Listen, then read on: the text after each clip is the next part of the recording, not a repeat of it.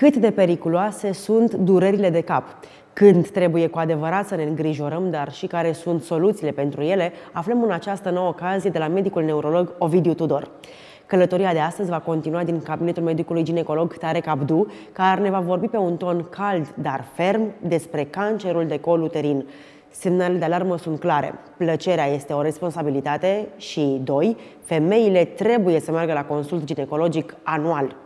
Și în cele din urmă aflăm veștile bune pe care ni le aduce medicul stomatolog Cristian Irimia în legătură cu turismul dentar. Cetățenii străini preferă să fie tratați de stomatologii noștri. De ce? Pentru că avem medici buni. Rămâneți cu noi pentru o ediție frumoasă ca o zi de duminică.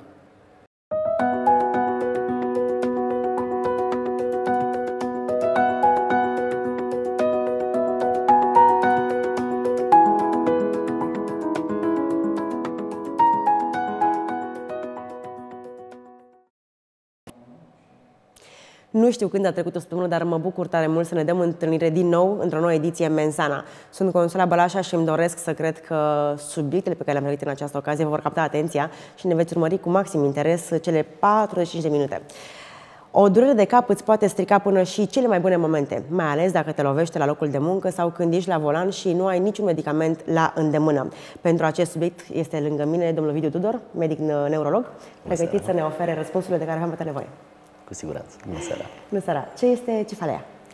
Reprezintă practic orice durere localizată la nivelul extremității cefalice, indiferent de modul în care debutează, indiferent de cauză sau de modul de manifestare al acesteia. Există o clasificare a durerilor de cap? Există o clasificare în continuă expansiune. A fost foarte dificil pentru că, deși se crede că sunt puține, în realitate există aproximativ 150 de tipuri de dureri de cap. Wow. Destul de multe. Nu vom vorbi despre toate cu siguranță, ne vom uh, rezuma la cea mai clară clasificare, care împarte cefaleele în două categorii. Cefalee primare și în această clasă se regăsesc primele două cele mai frecvente dureri de cap cunoscute la ora actuală. E vorba despre migrenă și despre cefaleea de tensiune. Uh, în categoria a doua, urmând uh, să intre cefaleele secundare, secundare unor patologii. Uh-huh. Aici plaja este destul de vastă. Vorbim de cefalee secundare unui traumatism craniocerebral. În următoarea clasă se regăsesc cefaleele apărute ca urmare a unor afecțiuni intracerebrale de cauză vasculară. Este vorba de cefalee apărute în urma unui infarct cerebral vascular ischemic, ca urmare a unei tromboze venoase sau arteriale, ca urmare a unor Uh, rupturi vasculare și aici ne referim la disecții de artere carotidiene sau uh, vertebrale. Urmează următoarea clasă uh, cefalee produse de factori intravasculari, intracerebrale nevasculari, scăderea de presiune intracerebrală, creșterea presiunii intracerebrale, neoplaziile pot da, sau tumorile, pot da dureri de cap. Mai departe, pentru că, așa cum spuneam, este destul de, de amplă plaja, cefalele produse de anumite substanțe sau de sevrajul care urmează scoaterea anumitor substanțe din uh, circuit. Um, așa cum ne ajută foarte mult toate analgezicele să scăpăm uh, de durele de cap, consumul lor exagerat poate să provoace de fapt o cefalee de abuz medicam medicamentos. Întreruperea bruscă a anumitor medicamente sau chiar a cafelei uh, poate de asemenea să cauzeze o durere de cap de care se scapă extrem de greu.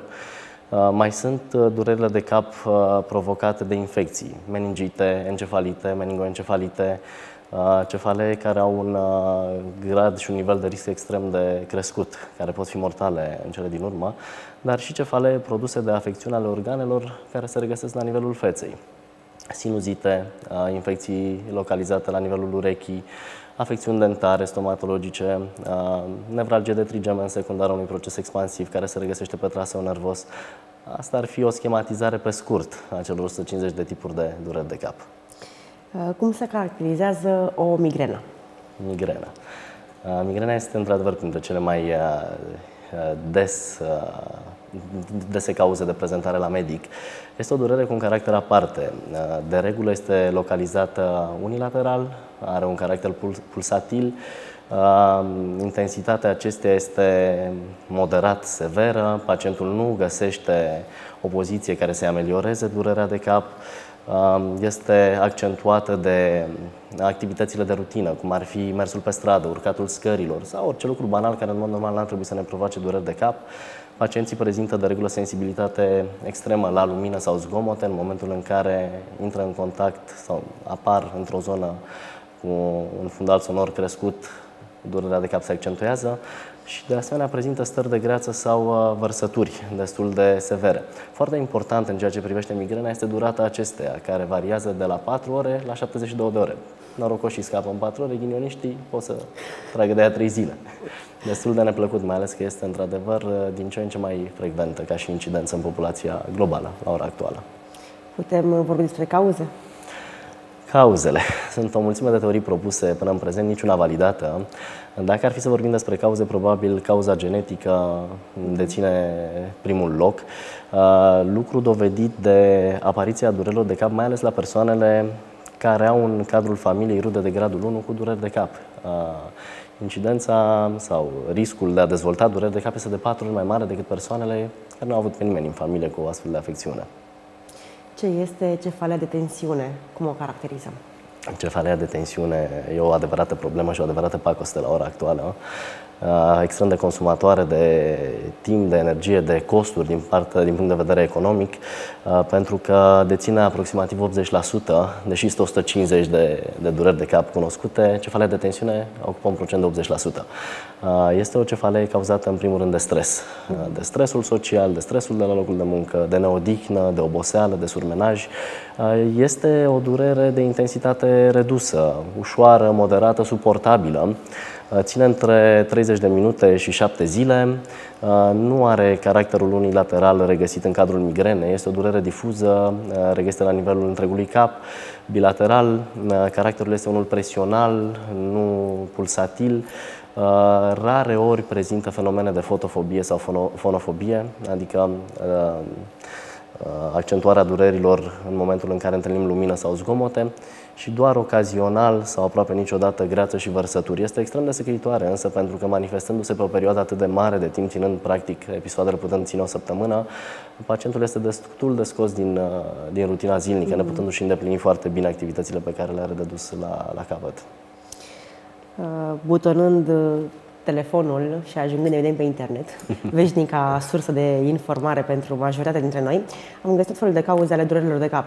Și printre acestea am uh, schițat eu oboseala, stresul, foamea sau alimentația incorrectă, deshidratarea atunci când bei sub un litru jumate de, de apă pe zi, uh, activitate fizică prea intensă, lipsa de activitate fizică, alcoolul, fumatul, cafeaua, mai ales în exces, nitrați se pot găsi în apă, semi-preparate, carne, etc., lipsa somnului uh, sau cauze medicale serioase, infecții, boli cardiovasculare, etc. E un rezumat, așa, pentru le validăm? le validăm pe toate și intrăm puțin în detaliu, uh-huh. pentru că simt că este nevoie. Uh, într-adevăr, lipsa unui somn odihnitor, perioadele frecvente de întrerupere a somnului sau, din potrivă, uh, dificultatea de a iniția somnul de a dormi este printre principalele cauze ale declanșării durerilor de cap. Deshidratarea se regăsește și un litru și jumătate este puțin. Ar trebui undeva la 2 litri, 2 litri și jumătate pentru persoanele care sunt predispuse, pentru că vorbeam de componenta genetică, ceea ce ne predispune. Practic ne naștem ca un pistol încărcat. Depinde de noi dacă activăm trăgaciul sau nu. Uh-huh. Alimentația extrem de importantă. Din ce punct de vedere? Contează cât mâncăm, cum mâncăm, ce mâncăm. E important să avem, să respectăm orarul de mese, să avem cel puțin trei gustări pe zi, trei mese principale pe zi plus eventuale gustări, deoarece a sări peste mese sau a mânca foarte rapid poate să declanșeze durerile de cap. Vorbeați mai devreme de alimente care pot să producă dureri de cap. Este o realitate. Printre acestea se regăsesc vinul roșu, uh, cafea în exces, o cafea pe zi poate fi ok din punctul acesta de vedere. Uh, făcând însă abuz de această substanță, intrăm într-un cerc vicios, apare ne face bine, de fapt în spate întreține un mecanism al durerii care se va declanșa în repetate rânduri produsele care conțin uh, tiramină, nu tiramisu din păcate, ci tiramină, uh, sunt dăunătoare și pot să inițieze durerea de cap printre acestea bananele, culmea, avocado, fructele uscate, citricele uh, și lactatele, brânzeturile în mod deosebit. Produsele care conțin monoglutamat de sodiu, aproape toate mezelurile și mâncarea asiatică este cea care se regăsește și care poate să producă durere de cap. Stresul, care e destul de greu de manageriat, într-adevăr, lipsa activității fizice sau, din potriva, activitate fizică prea intensă nesomnul sau, din potrivă, somnul în exces. În momentul în care ne permitem, uh, spre exemplu, sunt nenumărate cazuri în weekend, după o săptămână plină de activitate, în momentul în care o persoană încearcă să se relaxeze și își propune să doarmă mai mult timp, există riscul să dezvolte ceea ce se numește migrena de weekend. Uh-huh. Tocmai pentru că, scoțându-se din rutina zilnică, organismul nu reușește să intre într-o zonă de relaxare care să-i favorizeze un ambient și un climat favorabil. Îmi doresc, uh, realizând aceste emisiuni, să informăm uh, publicul care ne urmărește uh, și să-l informăm, evident, corect. Sunt ocazii în care atingem subiecte ușor sensibile sau pe care le considerăm tabu, dar pentru că nu e așa, informația este importantă, nu am cum să nu aduc în discuție o da. teorie care circulă printre noi, și anume că inclusiv lipsa activității sexuale poate produce dureri de cap. Este real? Apreciez foarte mult uh, modul în care ați uh, inițiat această întrebare și, într-adevăr, circulă printre noi, pentru că, în termeni medicali, există, pentru astfel de situații în care circulă zvonuri, se numesc mai degrabă uh, evidențe anecdotice, ceea ce în medicină, în situația de față, este adevărat. Nu există niciun studiu serios, există doar mici studii care au luat în calcul această posibilitate, nevalidate însă în cele din urmă, E de discutat, într-adevăr, sunt persoane care mărturisesc uh, dispariția durerilor de cap în timpul activității sexuale sau, uh, mă rog, ca urmare a unei activități sexuale cât mai intense.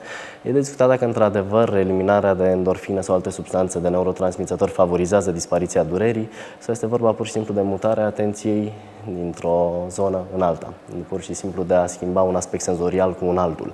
Uh, ceea ce este însă foarte cunoscut și extrem de știut este că actul sexual, în 5% dintre persoanele cu dureri de cap, poate să declanșeze o migrenă incredibil de puternică. Da, se numește migrenă sexuală sau migrenă coitală. Uh, debutează în momentul în care are loc uh, partea de preludiu, de excitare, urmând ca în momentul orgasmului să devină extrem de intensă, E cam printre cele mai puternice dureri cunoscute de om. Una peste alta, e posibil ca într-adevăr să existe un adevăr, în ceea, să existe un, o realitate în tot ceea ce ați prezentat mai devreme, pentru că uh, mecanismele de relaxare sunt cele care produc uh, o liniștire a frecvenței și a intensității durerilor de cap. În situația de față, probabil că avea o activitate sexuală regulată oferă un confort psihic ambelor persoane, iar atunci, în contextul acesta, se produce și o ameliorare a simptomatologiei. Pentru că stresul, neliniștea, agitația, sunt uh, dăunătoare. Vă mulțumesc uh, tare mult! Uh, tot pe internet circulă zvonuri că femeile însărcinate au și ele parte din nefericire de o durere de cap. Este o durere de cap specifică lor? Femeile, în general, au dureri de cap mai frecvente decât bărbații și dacă vorbim de migrenă, procentul este de undeva, undeva situat la 4 femei la un singur bărbat cu migrene. Da, este printre principalele cauze de prezentare la medic în timpul sarcinii. Practic, durerea din timpul sarcinii poate să apară în orice moment indiferent că e zi, că e noapte sau indiferent de luna în care se regăsește pacienta în uh, dezvoltarea sarcinii, însă au totuși o predominanță în primul trimestru și în al treilea. De ce în primul trimestru? Pentru că se produc schimbări hormonale mhm. masive, uh, este ca un boom pentru organism și resimte întreaga poveste. Posibil să fie și unul dintre, devin puțin de la subiect, este și una dintre cauzele pentru care femeile au mai frecvent migrene și migrena în cazul femeilor apare undeva în jurul vârstei de 10, 11 ani, 12 ani, când apare menstruația, când fetița începe să devină femeie și pe măsură ce timpul avansează în perioada menstruației, e posibil să se repete o migrenă uh, catamenială sau menstruală.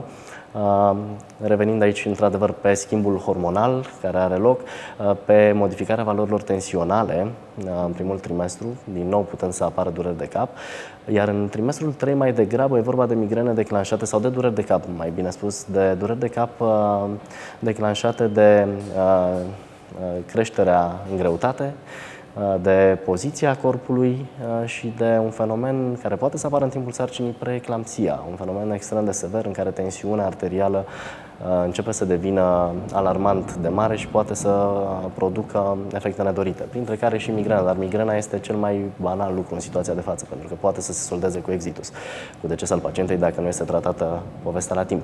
Nu e o formă de manifestare specială a migrenei în cazul femeilor însărcinate, este la fel ca orice altă durere de cap. Singura neplăcere este că suntem extrem de limitați din punct de vedere al tratamentului. Uh-huh. De asta recomandarea ar fi în situația de față ca pacientele să consume lichide foarte multe, să se odihnească foarte bine, să-și limiteze activitățile fizice cât mai mult și să evite factorii de stres negativ până la urmă. Când devine durerea de cap un motiv de îngrijorare real? Mm, sunt situații care ar trebui să trezească în mintea pacientului să ridice în mintea pacientului un semn de întrebare și să-l determine să se prezinte cât mai degrabă la medic. În engleză se numește red flags, steaguri roșii care ne semnalizează o eventuală situație nefavorabilă.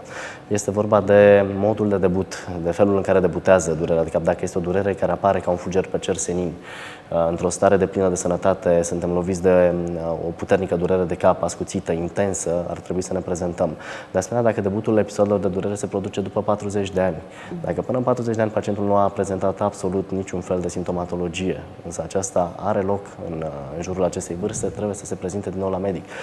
Durerea de cap însoțită de fenomene neurologice, cum ar fi amețeli puternice, vedere dublă, paralizii, Uh, crize epileptice, uh, trebuie din nou să îndemne pacientul să se prezinte la medic. Uh, dacă sunt situații însă când pacienții resimt dureri de cap de ani de zile, de zeci de ani de zile, iar aceasta suferă anumite modificări atât în ceea ce privește frecvența de manifestare, cât și intensitatea ei. Din nou trebuie să se prezinte la medic. Orice schimbare într-o stare de obișnuință, într-o rutină pe care pacientul o știe, ar putea fi provocată de un fenomen destul de grav. Înțelegem că nici copiii nu sunt feriți de aceste dureri de cap și uh, doresc să vă întreb dacă au, nu știu, ce particularități, dacă este ceva de precizat în cazul copiilor. Da, nici ei nu sunt feriți și cumva sunt uh, aceleași cauze sau aceiași factor trigger ai durerilor de cap. E vorba de durere de cap secundară unor afecțiuni, la fel, sinuzite, rinosinuzite, uh, meningite, encefalite, uh, afecțiuni ale urechii interne, afecțiuni ale dinților, dar și stresul uh, la care sunt supuși uh, la școală, acasă sau în alte medii în care își desfășoară activitatea. Uh, sunt particularități. Prezintă migrene, prezintă cefalee de tensiune, prezintă practic toate tipurile de, de dureri de cap pe care le are și adultul, doar că de cele mai multe ori durata este mai scăzută decât la adult, se pot prezenta cu alte fenomene, cum ar fi uh, dureri abdominale, uh, este o migrenă care se manifestă în felul acesta, iar părinții trebuie să fie foarte atenți la toate detaliile pe care le prezintă copilașul. Medicina vine puțin în în întâmpinarea nevoilor noastre și cred că ne aduce și soluții pentru aceste dureri de cap. Cu siguranță. Care sunt aceste soluții? Avem două abordări. E vorba de tratamentul episodului acut, în momentul în care pacientul vine cu durere puternică de cap la medic. Și aici uh, sfera de medicamente sau plaja de medicamente este foarte amplă. Uh, orice analgezic ușor poate să fie util, paracetamol, aspirină, toate antiinflamatoarele nesteroidiene pot fi utile, dar cum menționa că pacientul trebuie să aibă grijă ca să nu prezinte comorbidități care intră în contradicție sau care pot să să-i determine alte complicații, de asta e bine să întrebe medicul. Um, ca și management al episodului acut, e bine de știut pentru orice pacient că organismul nu luptă de regulă. Exact ce vorbeam în cazul migrenei, sunt situații în care pacientul scapă în 4 ore fără să facă nimic sau scapă după 3 zile. Însă ceea ce este foarte bine cunoscut că dacă în primele 30 de minute are loc administrarea unui analgezic, sunt șanse foarte crescute ca acesta să scape de durerea de cap în următoarea oră, jumătate de oră sau oră. Dacă ratează această perioadă de grație, acest interval de 30 de minute, e posibil să ne întindem pe 3 zile, pe 7 zile sau pe mai mult în funcție de tipul de durere. Eu ofer acum niște variante generale de trat sau niște variante de tratament care prind bine în mai multe situații, însă fiecare durere de cap și e bine de știut pentru orice pacient are un tratament specific. De asta abordarea terapeutică Uh, de unul singur uh, sau prin informații obținute pe internet nu este recomandată, pentru că s-ar putea să greșim. Uh, revenind la schematizarea terapiei, pe lângă tra- tratamentul fazei acutei, este și tratamentul profilactic. Cum reușim să scăpăm sau cum reușim să reducem frecvența și intensitatea durerilor de cap și, din fericire, sunt o mulțime de soluții. Revenind la cele două uh, patologii, cele două dureri de cap mai frecvente, Folosim antiepileptice, folosim beta-blocante, folosim blocantele canalelor de calciu, uh, se folosesc antidepresivele pentru că stresul, anxietatea, neliniștea uh, sau nesomnul sunt factori trigger și atunci trebuie cumva să gestionăm întreaga situație. Doar că, din nou, trebuie avut grijă. Uh, tratamentul este unul de lungă durată, se întinde pe cel puțin 3 luni de zile, între 3 și 6 luni sau chiar mai mult dacă este cazul, pentru a obține beneficii altfel s-ar putea să ratăm. E posibil ca nu toate medicamentele profilactice să funcționeze. Din fericire avem mai multe clase medicamentoase care pot fi aplicate. Totul e ca pacientul să fie cooperant, să înțeleagă că necesitățile organismului lui pot fi diferite de organismul meu sau de al altuia, să se prezinte la medic pentru continuarea terapiei sau pentru schimbarea acesteia. Mulțumesc tare mult! Uh, cum spuneam și în introducere, sunt momente în care apar aceste dureri de cap și nu le așteptăm. Nu suntem pregătiți, nu avem nimic de mână. Uh, sunt uh, lucruri pe care le putem face atunci și durerea cumva să ne mai scadă puțin? Este dificil dacă nu avem nimic la îndemână. Insist pe ideea că ar trebui să facem ceva înainte să apară durerea de cap uh-huh. da? și vorbim de hidratare, de respectarea orarului de masă sau de somn. În momentul în care apare durerea, cel mai bine e să ne adresăm medicului sau cel puțin farmacistului, care are suficient de multe cunoștințe medicale pentru a ne oferi un suport util. Uh, am uh, scos de pe internet tot felul de sfaturi de genul ăsta pe care le putem aplica oricând, oriunde. Masaj ușor pe tâmple și pe frunte cu ulei de mentă. O baie fierbinte calmează destul de repede durerea de cap. O baie rece doar la picioare, în paranteză 10 minute. Uh, un scurt antrenament mental pentru destresare. Uh, oxigenează creierul, fă mișcare sau exerciții fizice simple. Au vreun efect? Toate efecte și sunt binevenite pentru că toate produc relaxare, toate produc oxigenare cerebrală optimă. Este indicat să facem mișcare cel puțin 40 de minute pe zi în cazul în care intrăm într-o buclă ceea ce, care ne provoacă dureri de cap. Este important să avem momente de repaus, să nu pierdem nopțile. Legat de băile calde, sunt utile în cazul unor sinuzite, în schimb în situația unei cefalei de tensiune, e de preferat să aplicăm ceva rece în zona dureroasă pentru a scăpa de durerea de cap. Tehnicile de relaxare par să capete contur din ce în ce mai mult. Biofeedback-ul e foarte important. Ce înseamnă asta? Pacientul trebuie să se adreseze unui medic, neurolog sau unui psiholog pentru a înțelege exact cea, care sunt factorii care îi provoacă dureri de cap și să încerce să-i recunoască și să-i gestioneze cât mai bine. Acupunctura, ca și variantă alternativă, poate să fie utilă, plus o mulțime de alte tehnici care Uh, pot să provoace relaxare și intrarea într-o zonă de confort pentru cel aflat în cauză. Găsim uh, tot pe veșnicul internet o listă întreagă de ceaiuri pe care le putem uh, face și cumva ar ameliora lucrurile. Levănțica te scapă de stres, pelinul alungă migrenele, salcâmul are efect sedativ, menta în caz de sinuzită, mușețelul relaxant eficient, salvia bună în caz de răceală sunt binevenite, sunt utile, uh, nu le excludem, însă efectul lor este destul de limitat, destul de puțin studiat, uh, destul de greu de uh, gestionat și necesită timp pentru a intra în funcțiune. Sigur, sunt binevenite. Dacă persoana aflată în cauză beneficiază de ele, nu trebuie să le excludem, însă nu ar trebui să fie singurele variante de tratament. Variantele de tratament sunt cele standardizate, utilizate de-a lungul anilor, evidențiate foarte bine prin studii medicale serioase și competente, care au arătat procentual și statistic Uh, cât de bună este acțiunea lor. Dar, într-adevăr, relaxează. Levănțica relaxează. Uleiurile esențiale, în principiu, sunt binevenite pentru partea de confort, relaxare psihică, musculară. Uh-huh. Scăpând de tensiunea internă și externă, reușim cumva să scăpăm și de durere sau cel puțin să o ameliorăm, să o aducem într-o zonă care să ne permită o gestionare mai bună a ei. Mi-aduc aminte cu drag de copilărie și știu că pentru febră, pentru fel de dureri, bunica ne-a aplicat tot felul de lucruri pe noi.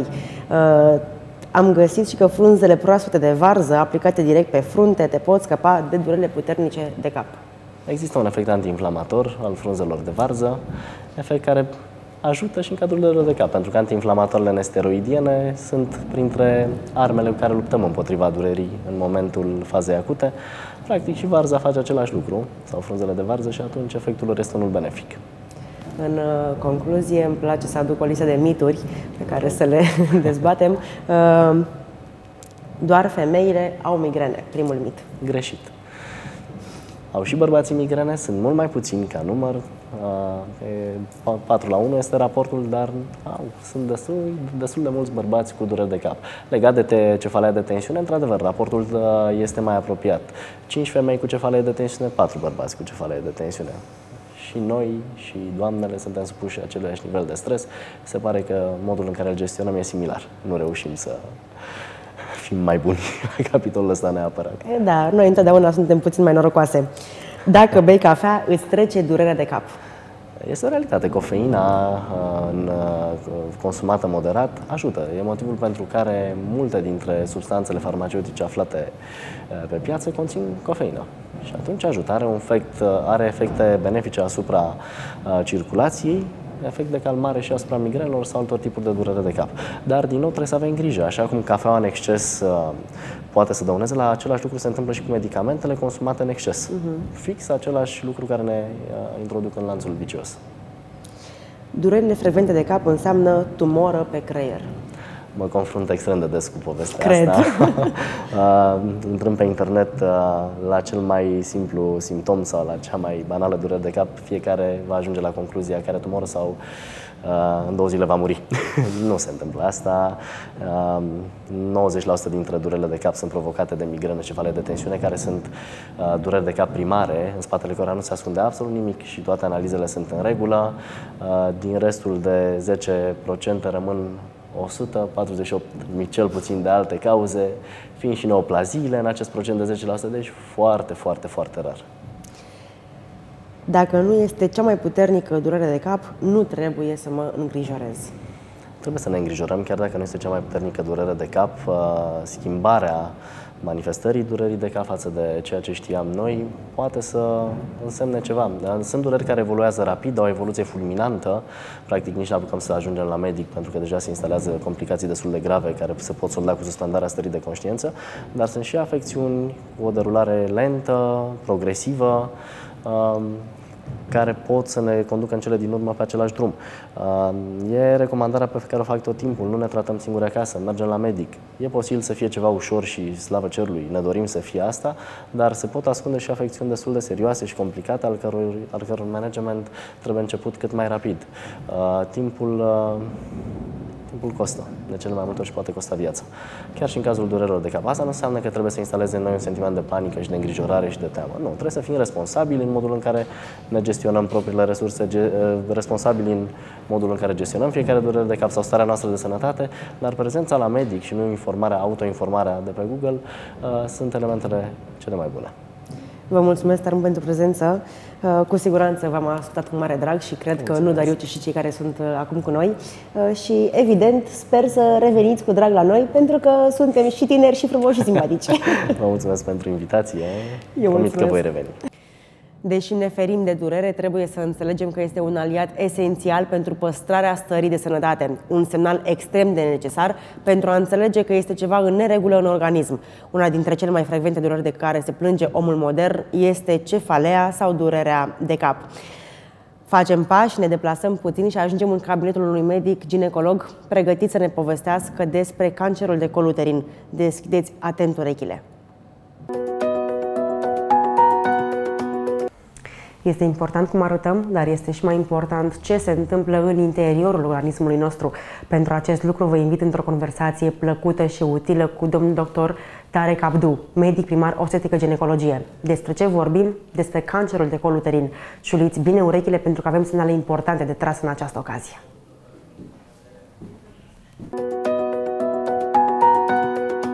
Domnul doctor, ce este cancerul de col uterin? Uh deci cancerul de col uterin este o afecțiune malignă a celulelor care acoperă uh, mai mare de suprafața colului uterin. Da? Și care apare la femei cu activitate sexuală de peste 30 de ani. Asta nu înseamnă că nu apare și la fete tinere, adică sub 30 de ani. S-a dovedit că a apărut și la fete mai tinere, și la 25 de ani. Cum apare cancerul de col uterin? Poate să fie infecție cu human papiloma virus, care știe toată lumea că este HPV. Uh-huh. Asta e, s-a dovedit acum că este, care joacă un rol principal în cancerul de col uterin. Doi, uh, contacte sexuale cu mai mulți parteneri, da? mai mult de trei parteneri, neprotejat, contact sexual, sexual neprotejat. Trei, poate să fie cauza contact sexual cu un singur partener care are infecție cu HPV, dar tot neprotejat. Da? Uh, fumatul poate duce la cancer de col uterin, infecție cu clamidia poate duce la cancer de col uterin, infecție cu HIV uh, anticoncepționale cu durată mai mare de 5 ani și cu infecție de HPV poate duce la cancer de col uterin, istoric familial, că poate să fie și din familie cineva cu cancer de col uterin care se poate moșteni. Care sunt simptomele asociate, asociate apariției cancerului cervical? Da, uh, la început, la început, când este faza incipientă a cancerului de col uterin, s-ar putea să nu apare nimic. pacienta poate să acuze dureri la contact sexual, sângerare la contact sexual, secreție mai abundentă cu miros neplăcut și atunci se duce la un consult ginecologic. În cazul cancerului avansat de coluterin, simptomele se modifică puțin. Ne Da, puteți povesti despre în asta? cazul mai, mai, dacă este cancerul de coluterin mai avansat, apar sângerare la urină, da? Uh, dureri pelvine, dureri uh, lumbare, poate să apar constipație, poate să apar uh, comunicări între vagin și rect, da? care se numește fistula vaginală, anemie, scădere în greutate, dacă este un, un, un cancer avansat, da? sângerare mai abundentă, da? Uh, care pacienta uh, încearcă să, să meargă la un consult să vadă despre ce e vorba, da? că nu știe despre ce e vorba. Uh, oboseală, da? poate să apare și la, la cancerul de coloterie în faza, în faza avansată. Comportamentul sexual crește riscul apariției cancerului de col prin începerea vieții sexuale înaintea vârstei de 18 ani. Da, pentru că începerea contactului sexual înainte de vârsta de 18 ani poate duce la cancer de col uterin din cauza totuși infecție cu HPV. Uh-huh. Da? Pacienta nu știe, nu are cunoștințe medicale și are mai mulți parteneri. Da, aici am găsit un, un alt factor, mai mult de trei parteneri sexuali pe parcursul Da. vieții. mai mult de trei parteneri, dar, uh, ca să zic așa, în timp de 10 ani, nu, mai mult de trei parteneri mai, mai, mai des. Contacte sexuale cu un partener care a avut parteneri sexuali Da, multipli. da, este. Care a avut el HPV, dar noi nu știm care e. Mhm. Da? Nu știi, că nu apar uh, simptome la el.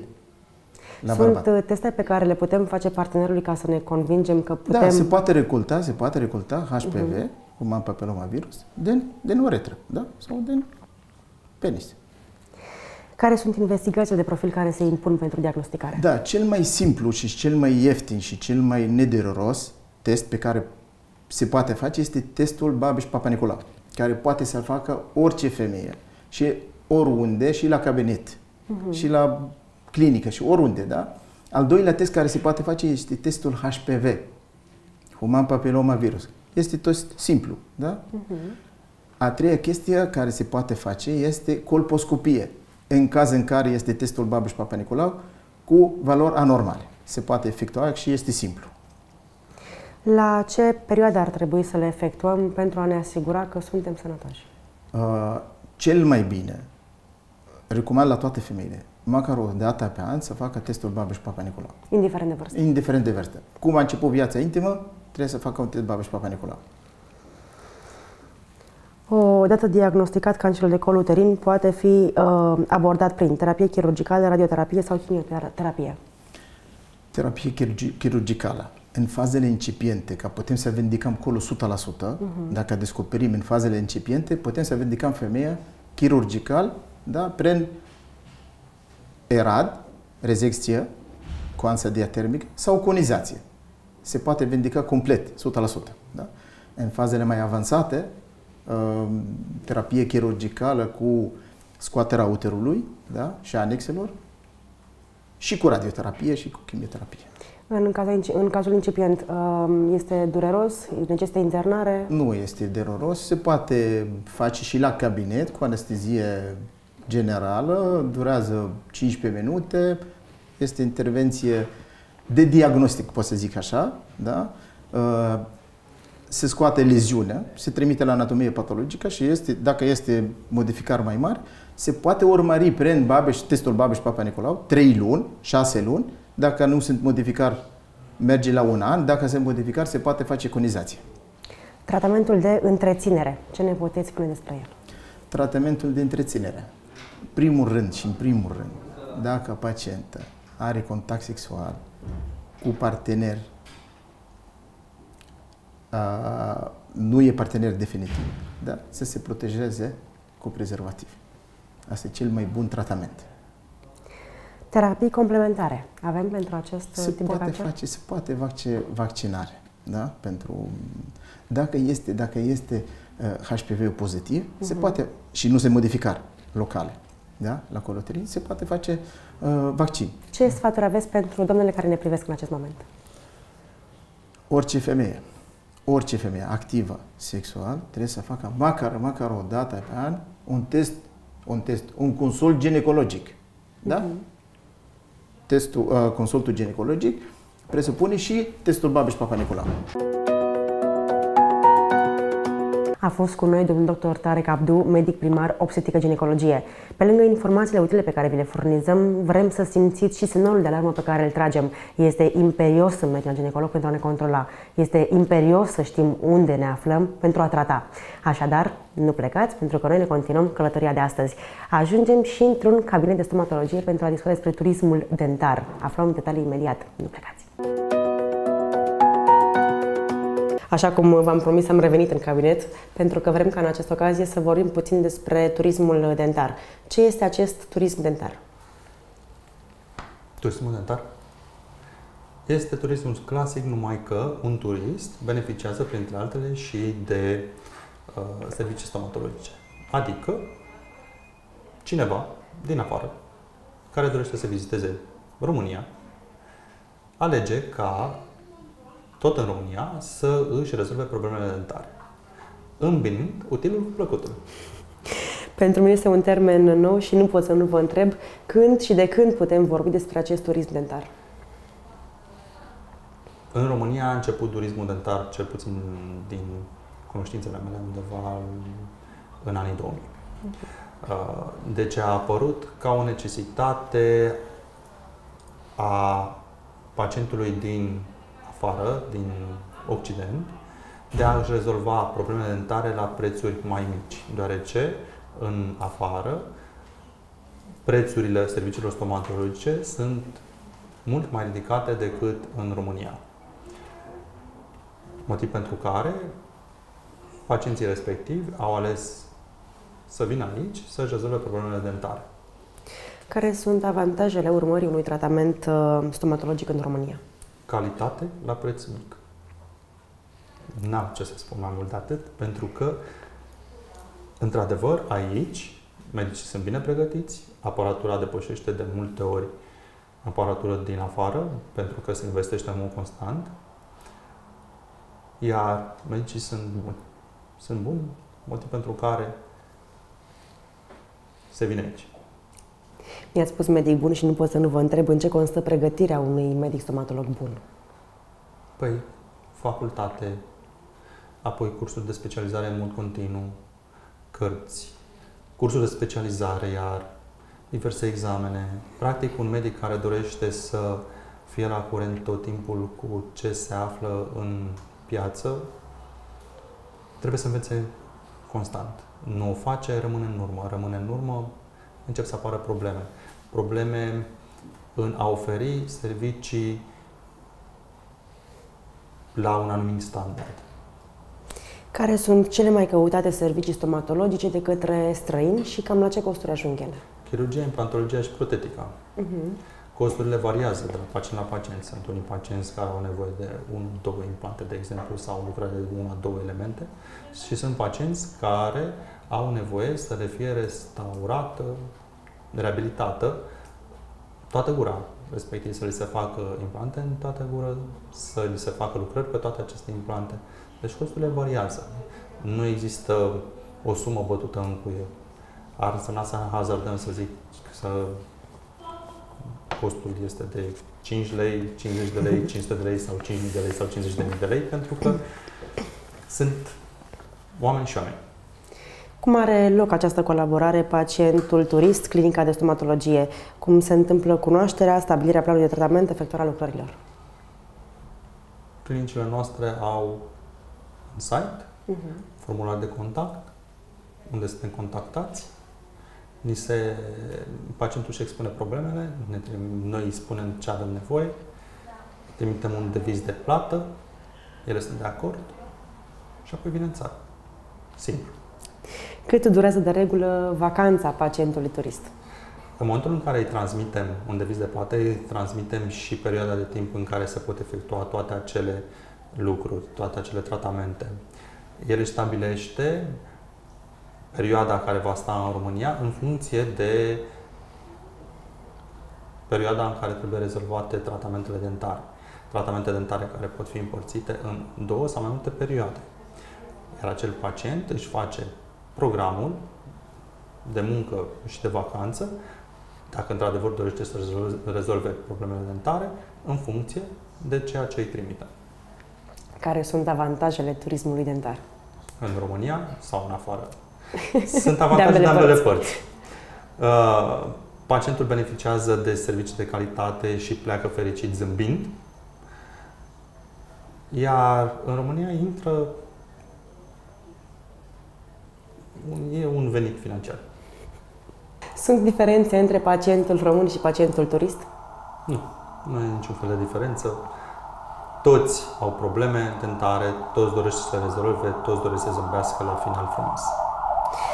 Din ce țări provin principalii pacienți turiști ajunși în România? Uh-huh. Italia și Spania.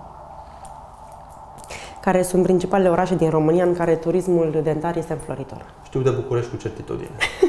de București, într-adevăr, uh, cu certitudine și mai sunt ceva orașe în partea de vest, pentru că sunt aproape de granița de vest și se poate ajunge foarte ușor uh, la ele pentru a-și rezolva pacienții probleme pe care le au. În România, și mă refer la orașele mari, București, Cluj, Sibiu, Iași, uh, vedem frecvent pe stradă tot felul de bannere care ne anunță că în apropiere se află un cabinet stomatologic. Cum reușesc străinii să facă alegerea potrivită lor? Cu ajutorul internetului. Internetul este motorul principal care îi aduce aici, um, într-o primă fază. Într-o a doua fază, din gură în gură. Acest mm, sistem de, nu știu, du-te acolo, că acolo ți este bine, funcționează perfect și aici și în afară. Putem vorbi despre un intermediar între clinică și pacient, de exemplu o firmă de turism medical care să faciliteze comunicarea între medic și pacient, dar care în același timp se ocupe și de planificarea vacanței pacientului? Da, se poate vorbi despre acest lucru. În fericire sunt foarte puține firme de turism care oferă pachete complete turistice în România. Sunt cam toate, majoritatea oferă Uh, servicii, servicii turistice în exterior. Uh, mai puțin să aducă turiști în România. Cum vedeți în perspectivă turismul dentar în România? Se va dezvolta. Se va dezvolta până la un anumit nivel în care prețurile noastre se vor alinia prețurile din afară, iar apoi turiștii se vor îndrepta în țările din estul Asiei. Cum sprijină statul român această ramură a medicinei? Nu anume, sprijină. Și anume stomatologia, da, implicit dezvoltarea turismului, nu? Nu, nu. Deci, nu, aici nu, absolut. Circulă pe internet vestea că turismul de în România ar fi aproape un mit, Ungaria fiind mult în fața noastră și cumva fiind destul de apropiați de noi, ne fură ușor acești, acești clienți. E un mit. Într-adevăr, e un mit. Pe internet circulă din nefericire multe mituri. Și ar fi bine să le luăm ca atare. Sper că v-ați simțit bine și astăzi în această călătorie a noastră printre informații medicale. A fost cu noi domnul dr. Cristian Irimia, medic stomatolog.